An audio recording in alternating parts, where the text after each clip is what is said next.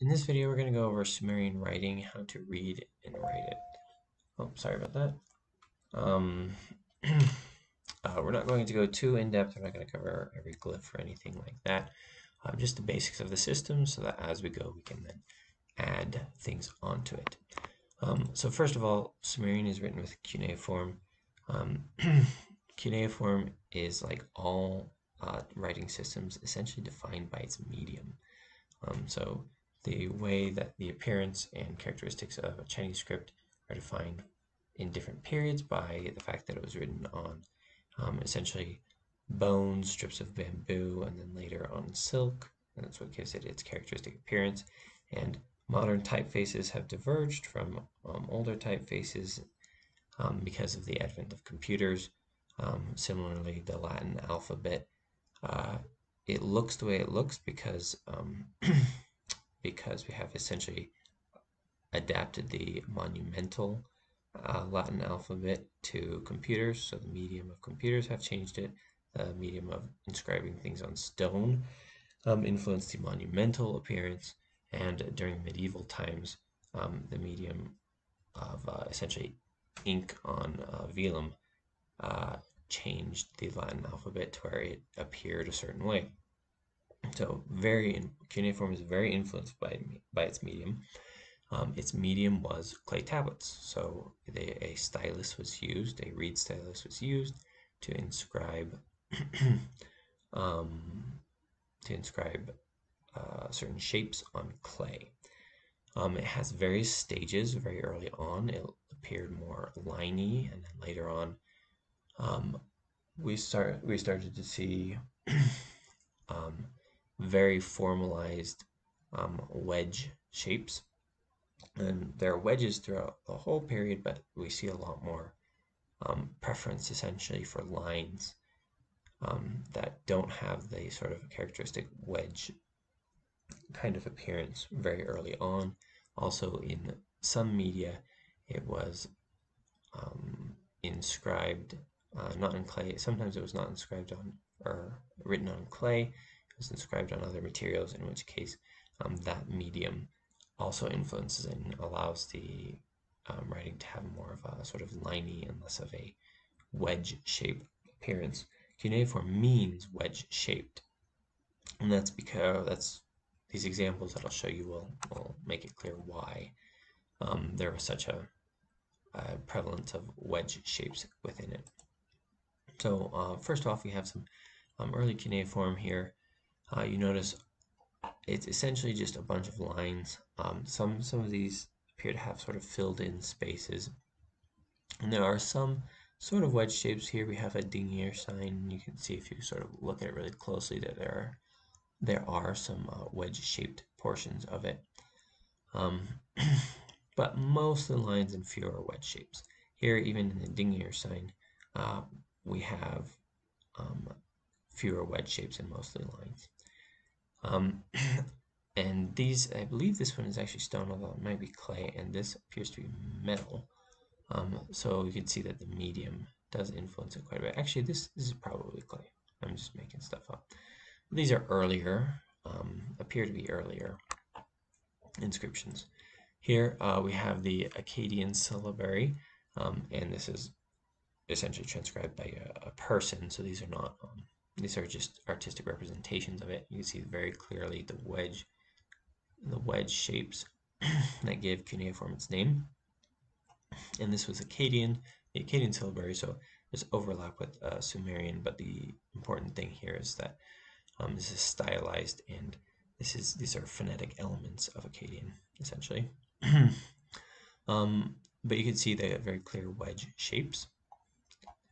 Um, here we have a, a portion of a clay tablet with also some very clear, um, very wedge-like shapes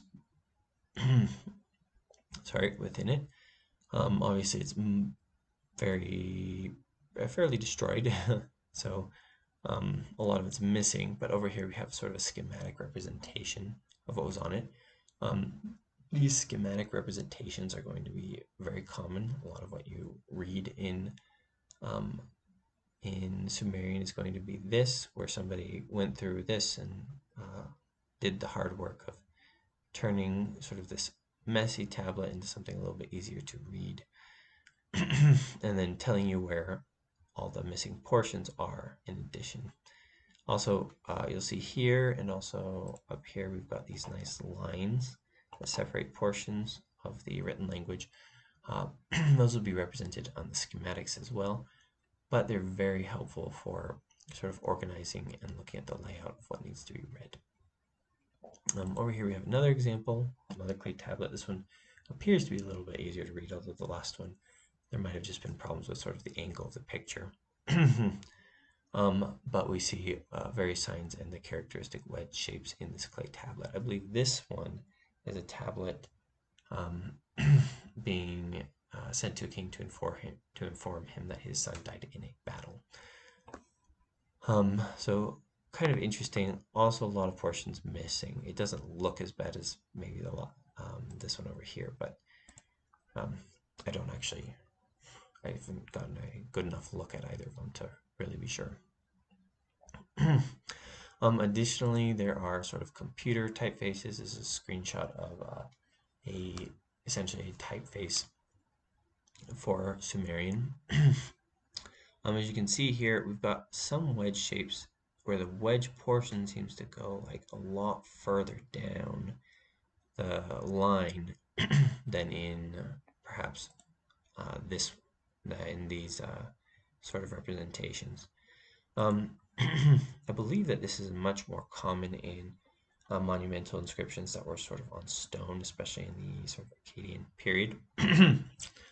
um, but either way, you can look at it and um, tell there are clear wedge shapes um, in there, uh, but this is sort of an earlier version of the writing script uh, writing system than something right here.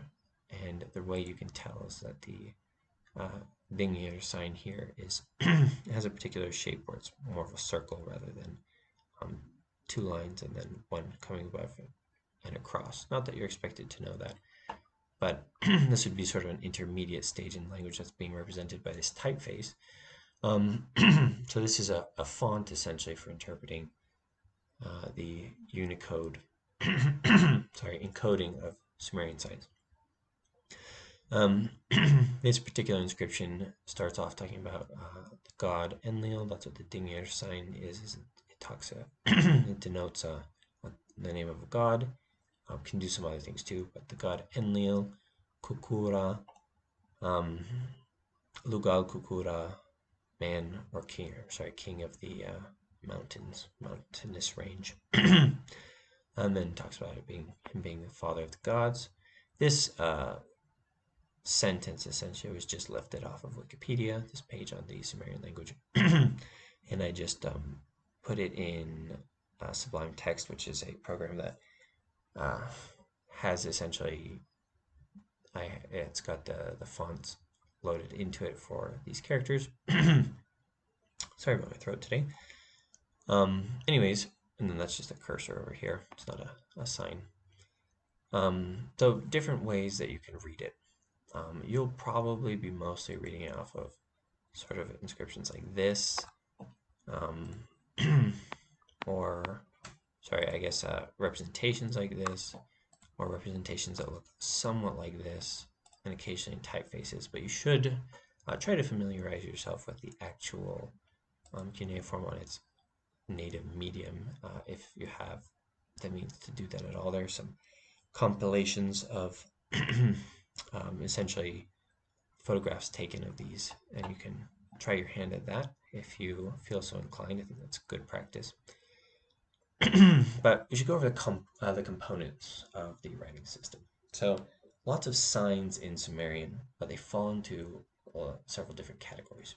We have phonograms, so uh, signs that denote a particular sound, usually a syllable, right? We have logograms, signs that denote a an idea, essentially, um, and pictograms, signs that uh, draw a particular thing.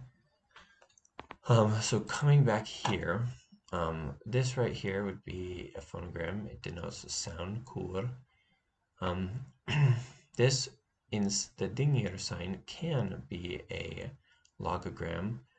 Um, it can mean uh, communicate the idea of uh, a god.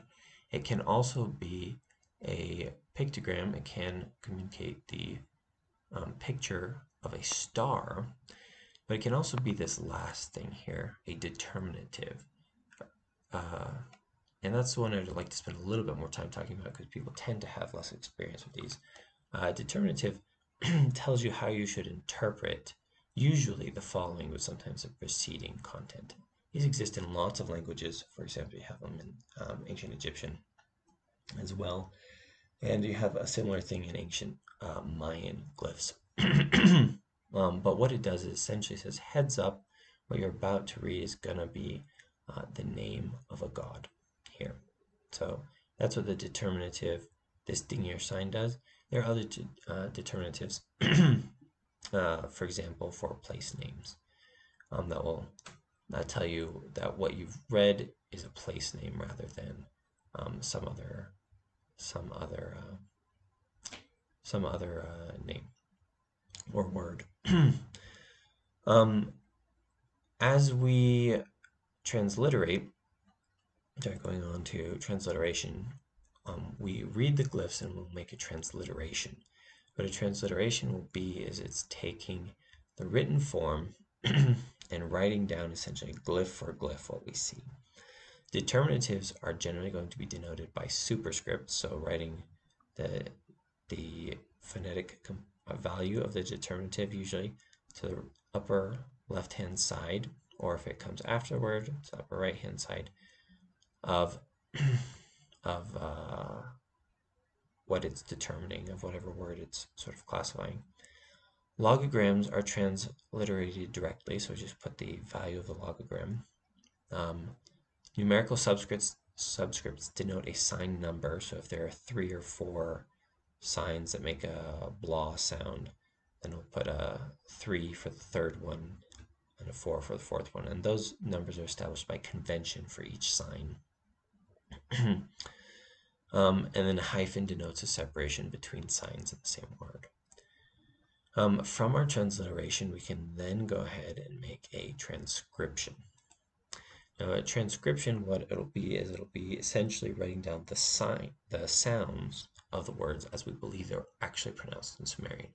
So we do a little bit of cleaning up of the transliteration. We won't use the superscripts generally, but we might use the subscripts. Um, a period will mark the border between morphemes. So uh, a morpheme, for example, in English, morpheme boundaries would be like the word dog represents one unit of meaning. Um, dogs has two units of meaning. It has the dog part and then the S, which marks plural. So if this were a Sumerian transcription, we would write dog period S. Sumerian words tend to be much more complex than English words, not always, but they often are. Um, so this convention makes things um, a lot easier, oftentimes, and it uh, allows the transcriber um, to uh, essentially express um, his opinions on what is what is going on in the word. So there, there might be some subjectivity to that uh, because we, we don't necessarily know for certain what the boundaries would be. Um, zero morphemes are marked, usually with a zero and a cross through it, or a null marker. I should have put an example of that in there. And parentheses mark present but unwritten sounds or morphemes. So things that we assumed to be there but that weren't, weren't written because um, the scribe didn't feel it necessary to uh, communicate what was there. So sometimes certain morphemes are left off or not written in Sumerian.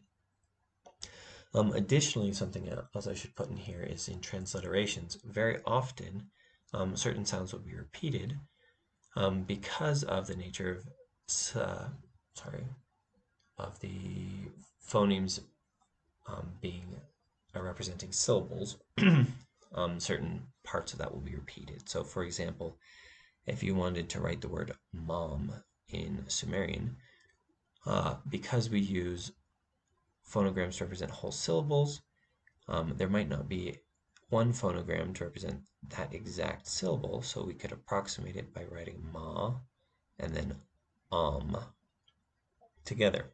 That obviously leads to the ah sound in there being repeated. In transliterations, we're going to repeat that because we're just writing down what signs were used. In transcriptions, that's not the, the case. We're going to collapse those together to uh, just being one, to just show the one syllable. Um, the next step is translation. So this is an English rendering. Wherever possible, we like to preserve the sort of order and layout of the text. So a line here, a line at the top should correspond to sort of the first thing in the English translation, if possible. It's not always possible, but just be be aware of that. um, and that's really all we need to go over for an introduction to the Sumerian writing system. Um, I used these images from Wikipedia and also um, some text from Wikipedia, but it was originally a Sumerian text. I think that's been in the public domain for probably 5,000 years. Um, the text itself, uh, but these things, these images, most of them are in the public domain. You can read about their licenses here. Um, there's one of them that is not in the public domain, but can be licensed or can be used so long as um, there's a link to the license uh, provided. So here's my link to that license. And in the next video, we're going to start diving into um, looking at some actual Sumerian text and practicing some of the things we've been talking about with that.